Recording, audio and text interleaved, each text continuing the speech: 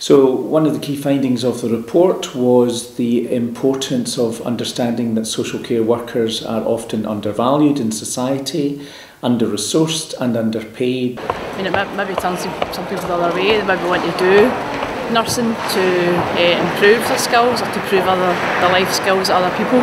So, maybe help them uh, maybe to make things a bit better. It's really important that what any government, in our context, the Scottish Government, does is addressing future issues. This is one, just only one matter that's really important for the future.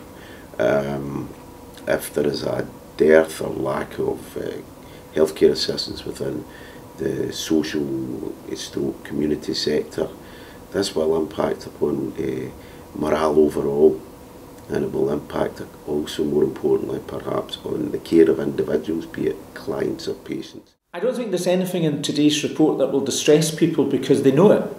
They know that this is how much Scotland doesn't value the job of care.